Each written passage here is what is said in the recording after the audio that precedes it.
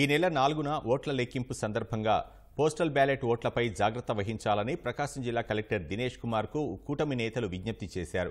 Counting జరిగే సమయంలో ఎలాంటి ఇబ్బందులు జరగకుండా చూడాలన్నారు.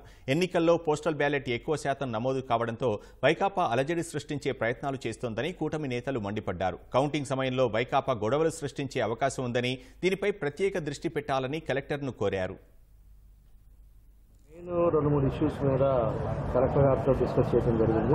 పోస్టల్ బ్యాలెట్స్ కౌంటింగ్ అప్పుడు జాగ్రత్తగా సెక్యూరిటీని కూడా పెంచాలి సెక్యూరిటీ ద్వారా చేయాలని చెప్పేసి అది కూడా చెప్పడం జరిగింది. ఎందుకంటే పోస్టల్ బ్యాలెట్స్ ఈసారి ఎక్కువ జరిగింది కాబట్టి స్టాంప్ లేదనో లేకపోతే మార్క్ లేదనో ఏదో విధంగా అబ్జెక్షన్స్ పెట్టి దాన్ని ఇబ్బందులు పెట్టాలనే ఆలోచనతోటి ఉంటారు కాబట్టి దాన్ని అక్కడ సెక్యూరిటీ కూడా పెంచేసి దాన్ని రౌండ్స్ అయిపోయే లోపల పోస్టల్ బ్యాలెట్స్ కూడా కంప్లీట్ అయ్యేటట్టుగా చేయాలని చెప్పేసి కూడా కలెక్టర్ గారి దృష్టికి తీసుకెళ్ళాం. ఇంకొకటి ఎక్కడ కూడా ఏజెంట్స్ ఎవరైతే ఉన్నారో దాంట్లో మనకి ఇండిపెండెంట్గా ఉండే క్యాండిడేట్ని కూడా అందరినీ కూడా ఎలా చేయాలని చెప్పేసి కూడా అది కూడా అడిగాం. కలెక్టర్ గారు దాన్ని ఎంతమంది ఇండిపెండెంట్స్ ఉంటారో దాన్ని కూడా యాక్సెప్ట్ చేశారు. దాని ప్లేస్ తక్కువ ఉంది కాబట్టి చైర్స్ లేకపోయినా కూడా నిలబడి ఉండేటట్టుగా మీరు చూసుకోవాలని చెప్పేసి కూడా ఆయన చెప్పడం కూడా జరిగింది. మనకి ఏజెంట్స్గా వచ్చే వాళ్ళు మన నియోజకవర్గమే కాదు ఎక్కడ ఉన్నా కూడా మన కాన్స్టిట్యున్సీ కాదు మన బంధువులు అవ్వచ్చు లేకపోతే ఇంకో దగ్గర అవ్వచ్చు ఎవరినైనా కూడా మనం ఏజెంట్గా పెట్టుకోవడానికి దానికి ఎలిజిబిలిటీ ఉంది కాబట్టి దాన్ని లోకల్ నాన్ లోకల్ అని చెప్పేసి కావాలని చెప్పేసి దాని మీద ఒక ఇష్యూ చేస్తారని చెప్పి దాన్ని కూడా ఆయన ఇష్యూ తీసుకొచ్చాం. దాన్ని కూడా ఎవరినైనా మీరు పెట్టుకోవచ్చు. అట్లాంటి దాన్ని ఇష్యూ చేస్తే చెప్తే వాళ్ళని బయటికి పంపించే బాధ్యత తీసుకుంటామని చెప్పి కూడా